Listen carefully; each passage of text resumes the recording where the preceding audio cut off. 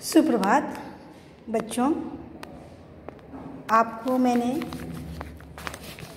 पाठ नौ, चेतक की वीरता पढ़ाया था, जिसमें का शेष भाग अभी आप लोग को हम बताएँगे।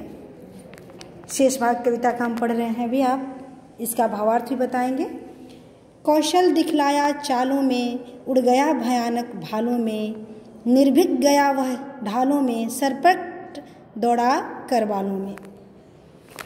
यानी कि चेतक घोड़ा जो है, अपने कौशल से, अपने चालों से दुश्मन का हर जगह छक्के छुड़ाया और वह निडर होकर के उनके भालों से नहीं डरा, उनके ढालों से नहीं डरा और निडर होकर के वह सरपट तलवारों के बीच दौड़ता हुआ आगे बढ़ता चला गया। इस तरह से चेतक ने अपनी वीरता का प्रदर्शन किया। बढ़ते नद सा वह लहर गया, वह गया गया, फिर ठहर गया विकराल वज्रमय बादल सा। आगे बढ़ते हुए कभी कभी वह ठहर भी जाता था और दुश्मन पर वज्र जैसा विकराल रूप धारण करके प्रहार करता था, जिससे कि दुश्मन के पाँव उखड़ जाए। और वह नदी की धारा की तरह आगे बढ़ता चला जाता था। भाला गिर गया, गिरा निशंग है टापो से खन गया अंग। बैरी समाज रह गया दंग। घोड़े का ऐसा देख रंग। दुश्मनों के भाले गिर गए। उसके टापों से उनका अंग छिल गया। और दुश्मन जो थे उसकी वीरता को देखकर देखते ही रह गए। दंग हो गए देख कर के वीरता को, चेतक की वीरता को।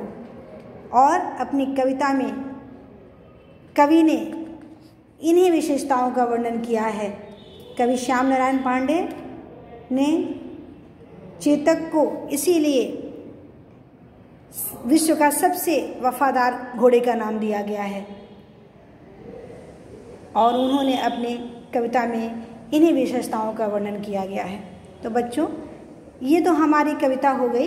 अब कविता से जुड़े हुए प्रश्न भी कर लेते हैं। चेतक कौन था?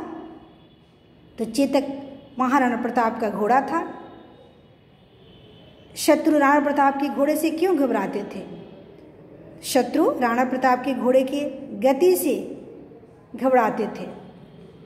चेतक की वीरता नामक कविता के कवि कौन है?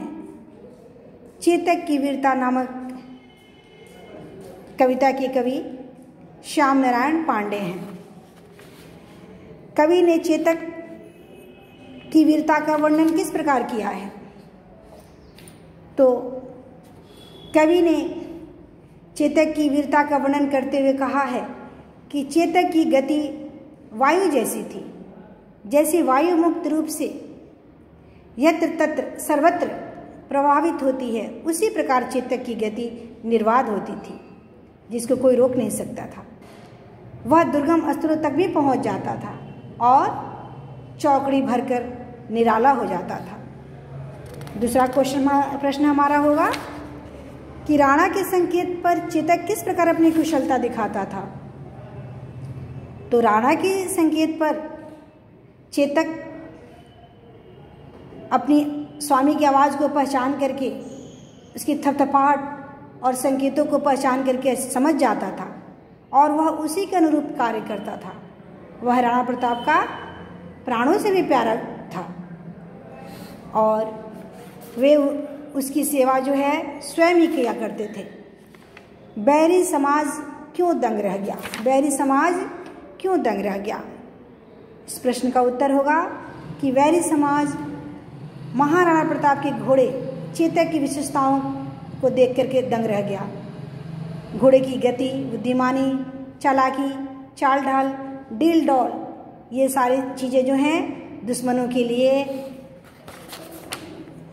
दंग रहने का कारण बनी और वे दुश्मन जो थे, वे चेतक की वीरता को देख करके दंग रह जाते थे। चेतक ने अपने प्राणों का बलिदान किस प्रकार किया? तो बच्चों, इसका उत्तर होगा कि चेतक ने अपनी प्राणी, प्राणों की बलिदान अपने युद्ध भूमि में अपने स्वामी की सेवा करते हुए और अपने स्वामी की वीरता को बनाए रखते हुए, उनकी रक्षा करते हुए उसने अपने प्राण त्याग दिए थे। तो यह हमारा हुआ चेतक की वीरता प्रश्न, पाठ पाठ का भावार्थ और साथ ही पाठ के प्रश्नों के उत्तर। धन्यवाद। अब हम किसी और पाठ को पढ़ाएँगे।